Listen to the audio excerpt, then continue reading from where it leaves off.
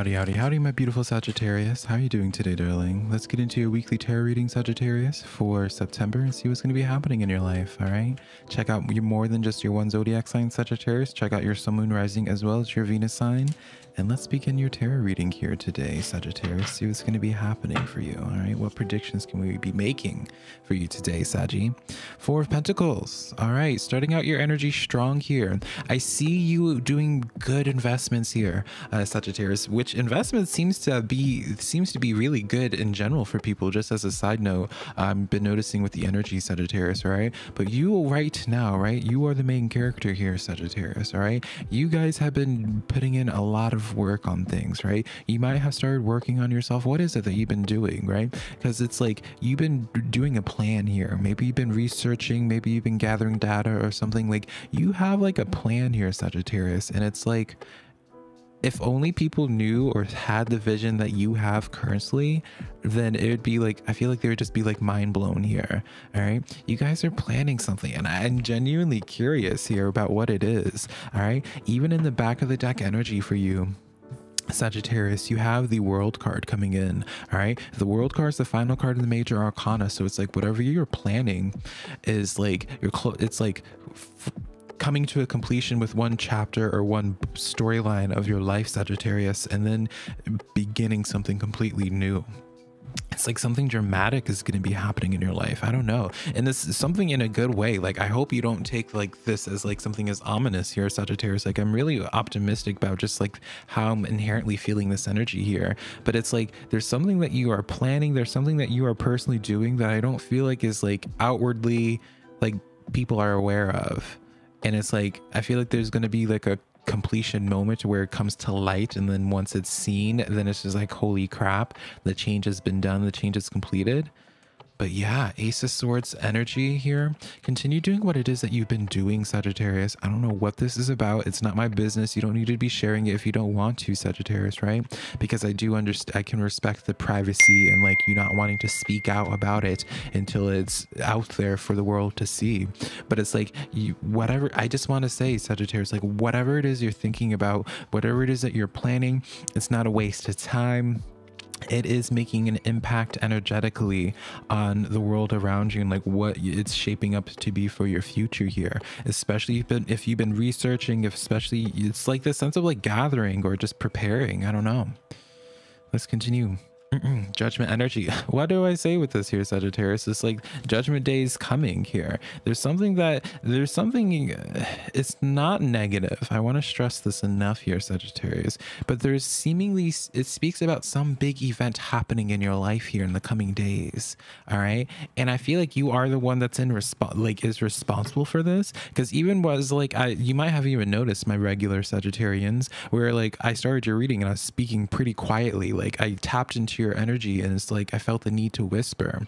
And it's like i feel like you're planning something and when judgment day hits it's going to pay off big time. So whatever it is that you have been working on sagittarius keep on doing the work because it's major. We're going to continue unpacking this energy here because it's like whatever big event is about to be going down in your life sagittarius you're going to want to have the information towards it First card that fell out, Two of Pentacles coming in under this Four of Pentacles.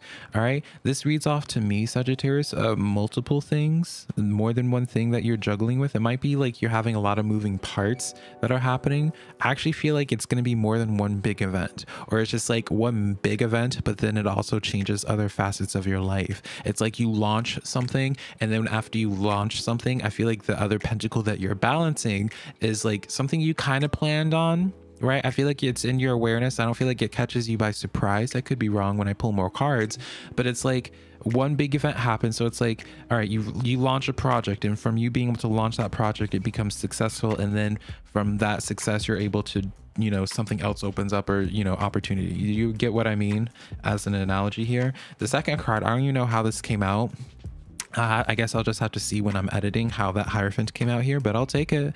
All right, you have the Hierophant coming in under that Ace of Swords. So whatever ideas that you are having, pay attention to your thoughts, pay attention to your dreams right now, Sagittarius. All right, because that higher, especially your dreams and just intuit, intuitive messages, spiritual messages. It could be repetitive numbers, could be animals or bugs or what have you. But because I say this because the Hierophant has like is like the uh, male counterpart essentially to the High priestess, still having that connection to the divine. All right. The Hierophant also represents the sense of where there's so much more than just beneath the surface. There's like, it represents depth. It's known as the card of marriage, uh, Sagittarius. All right. So you take that sense of devoted energy, or is that energy that's going to be for like, in I guess I, I guess in most people's intentions for like a lifetime, right? And it's like when you associate that energy with that and not just make it about like marriage in like in an intimate way like that it's just the ideas that are going to set you up for like you know, for the foreseeable future, for the lifetime. Do you understand that correlation there? I sometimes worry, Sagittarius, when it because I speak better in analogies when I'm doing tarot readings, so it's better, so it's easier for people to understand how the puzzle comes together and how you relate it to your life, and you fill in the blanks, the subjects, and the nouns and the adjectives, right? Um, but I, sometimes I worry if it confuses. Let me know if it does. Queen of Wands on this judgment energy. This is confirming why I feel like you're in the one that's in control about it here, Sagittarius. So it may not be the sense of where it's like you're pulling a lever and it's like everything happens at once, right? But it's through like it's through something that you are actively putting energy into, something that you are doing, that you are involved with, that gets the judgment day to happen. Does that make sense? All right. The Queen of Wands is someone that is following in their passion. She has a plan, she has a vision that no one else understands. And they only understand it when she finishes her journey and she sits on her throne. Right. And so that's why I feel like you're the one in control of it, especially with this Wands energy here. I'm noticing a lot of passion associated with this here. I feel like whatever this big event happens is something that excites you, Sagittarius. All right.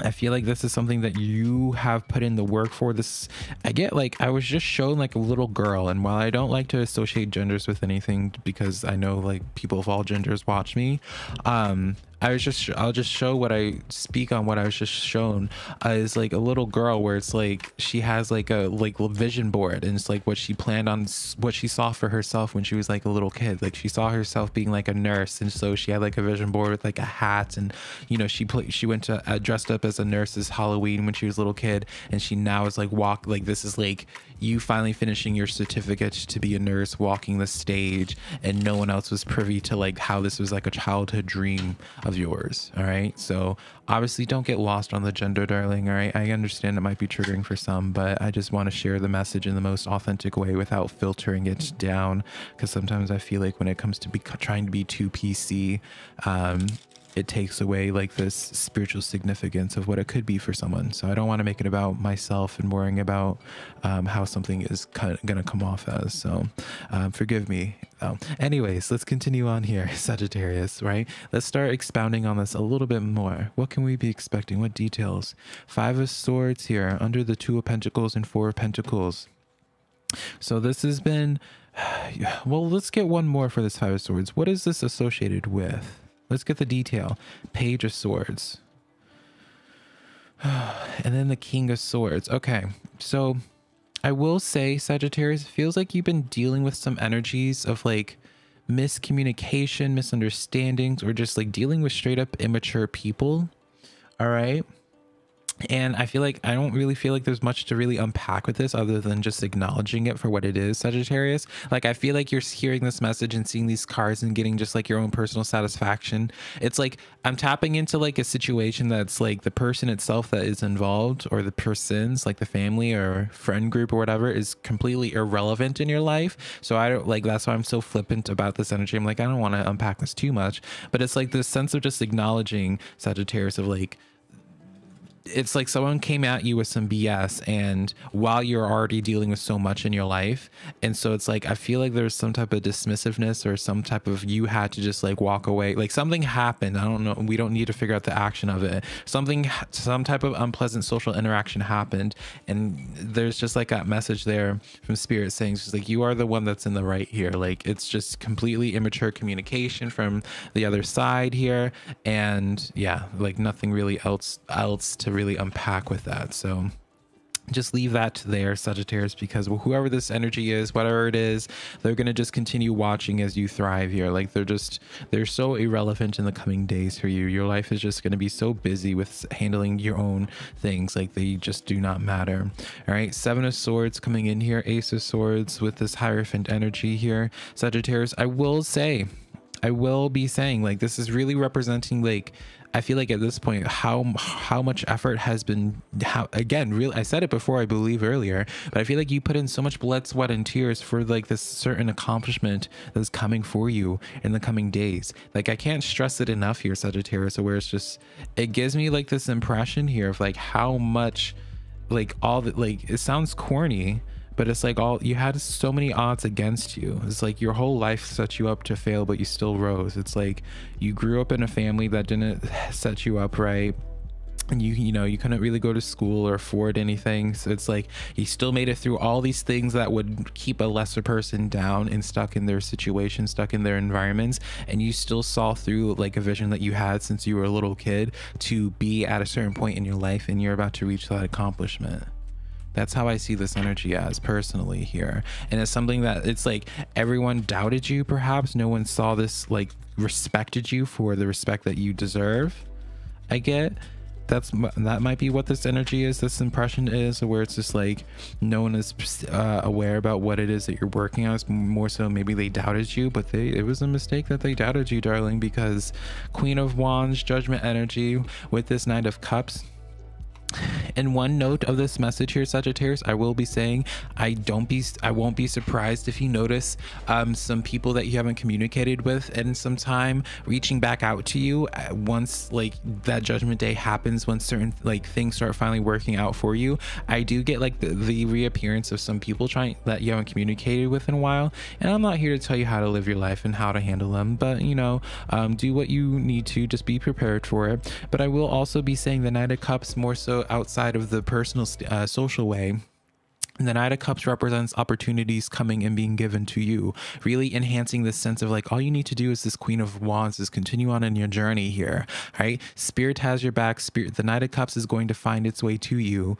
All right, they'll catch up to you and give you that blessing. You just need to continue pushing forward, Sagittarius. All right, that's the main message that I get with that is to like keep pushing through right now.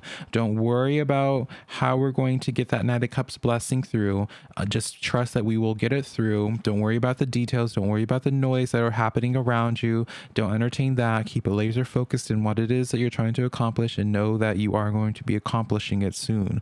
All right. Remember the vision that you've had for yourself when you were a little kid about how you envisioned your life now. All right. And even in the future, stay the course here, Sagittarius. Stay the course because you're really about to be having a very pivotal uh, accomplishment in your life here soon, as long as you stay the course. So let's see if there's anything else that needs to be said here. Seven of Wands, and then the Queen of Swords, Queen of Pentacles. All right, this three this is a trio that wanted to just come out on its own. And I will just say this, Sagittarius, it continues speaking to me about like outside connections, being wary about them. Seven of Wands, it's like and I, it sounds such a like a corny thing, like because I don't really like entertaining, like being like, oh, you got haters around you. Da, da, da. It's like, girl, I stay in my house. What haters, right? But it's like it keeps on stressing with the Seven of Wands, this Queen of Swords here, where it's like Spirit is really stressing the sense of just putting up some strong boundaries because it's like you're going to be dealing with some selfish energies, Queen of Pentacles, right? Dealing with some selfish energies that you want to respond with Queen of Swords with those boundaries, all right? Because it's just like, and it's like multiple hands, like multiple people sagittarius are like trying to like uh, you know for that handout. And even still making all this about interpersonal interpersonal stuff here sagittarius all right? The queen of pentacles would be reading this off as is like where it's like it's time for you to be selfish Sagittarius, with your time and energy, all right, it's time for you to prioritize yourself first, put up the boundaries, you know, no longer constantly answer your phone to people that don't really understand or respect your schedule, all right, because things are moving. Uh, Eight of Wands, Sagittarius, things are moving. Eight of Wands is a card of travel, it's a card of quick success. Things are moving in your life, and people have to respect and understand that, that you're not going to be as available as, as available as you once were to certain people anymore, all right, because I do see like this sense of bittersweetness where it's like you're having to walk away from a situation where it's like your your life, your reality changes in such a great way where it's just like you have to leave things in the past because there's something really positive in the future Two of Cups here. So it's like there is this bittersweetness where it's like so much movement is happening in your life that some things have ooh, not me getting too passionate with my hands here, but it is like that sense Sagittarius where it's like some things have to give while others while like new things take right? Because six of swords energy i'm just drawing from the back of the deck here saji. Um, six of swords energy yeah again that bittersweetness. There is this sense of travel this sense of movement this sense of disconnect that you're going to be experiencing here sagittarius. And then afterwards ten of pentacles chariot energy here afterwards. And then the eight of pentacles here. I'm going to stop after this here sagittarius. Knight of swords by the way here. And then the hanged man all right? Like the story writes it itself here, Sagittarius. The story writes itself. I say that was the last one. I pull three more here. But I'm just so passionate about this for you, Sagittarius, because it's like when the cards are acting like this, where it's literally just unveiling an entire story like a book, I know I made the connection. So I want to take as much advantage of the energy that it is. So this is just going to be a little bit of a longer video, and I ain't going to apologize for it. Right. So let's talk about this here, right? You're going to have to watch this back a few times probably as well. just a heads up. Ten of Pentacles here, right? Ten of Pentacles. Ten of Pentacles is where it's like you're feasting, you're abundant. Chariot energy, that's that fast forward momentum energy. Eight of Pentacles, that's a card of like going back to school. It's like furthering your knowledge, developing, right? It's known as a card of like upranking, right? And so this is what's coming towards you, right? Very quickly with that chariot energy. You just have to continue putting in the work. You know, think about that chariot energy where it's like a train, where it's like the more coal that you put in, the faster it's going to be chug a chugging, right, darling? So continue putting in the coal, continue continue doing whatever it is that I was saying from the very beginning here, Sagittarius, when I tapped into your energy and I was like, oh, y'all are planning something here because these three extra cards I said I wasn't going to be pulling, but I did anyways. Knight of Swords. Knight of Swords, by definition, Sagittarius represents um, fast, like a bunch of events happening unexpectedly for you, right? Hanged Man with the Fool energy. Hanged Man comes in the sense of like committing to an action that you don't know how it's going to pan out until the end of it, and then you see the sun behind the Hanged Man. Some people see it as like a halo, but um, I see this as the sun currently here, wherein the sun is the best card in the tarot deck, representing abundance and all of that. So it's that sense for you, Sagittarius, where it's like a lot of unexpected events happening for you. Hanged Man, you're changing your approach, you're changing how you're seeing, like how you see things, how you do things, who you connect with, how you connect with things. These new these events that are happening are helping you transition to this new version of yourself, Sagittarius, which then gives you that Fool energy. All right, perfect way to end this tar- the tarot portion of this, right? That Fool energy is associated with the number zero, right? Representing a whole new storyline for you. Do you see how this is all adding up, Sagittarius? As I said again uh, earlier, darling, you're gonna have to watch this reading back more than one time I guarantee you, because this is the type of reading where it's like there's so much to unpack with this. Like I, and then in some ways, I'm kind of rushing this reading as well because I don't want it to be too long for y'all. Because I know most probably don't care, but it's like this is like this is like some beautiful stuff. Like this is the kind of stuff that I would love to unpack in like a private reading because it's just like uh, the energies like we're really connected. All right, we have the emu card. What was I saying earlier, Sagittarius? All right, emu card with that eight of wands from earlier. This is a time to go on a new adventure. New adventures are coming in for you, and you need to be prepared for it. You need to be prepared for it. Things are happening. you are a lot tougher than you think you are. I think I'm just preaching to the choir right now. I feel like you understand why this card comes in. Like, I feel like not why this card comes in. It's like you understand, like, that's who you are. Like you already like you already went through like the blood sweat and tears and that's how you learned how much tougher than you actually like how much tougher you are than you were uh, aware of at one point in time. Letting go of your fears and know that you're protected and safe at all times. All right, Sagittarius. So the story writes itself here. Continue moving forward. This Knight of Cups spirit is going to be catching up to you when the time comes appropriately. Just be that Queen of Wands and continue moving forward. All right, darling. Let's get your mantra for today.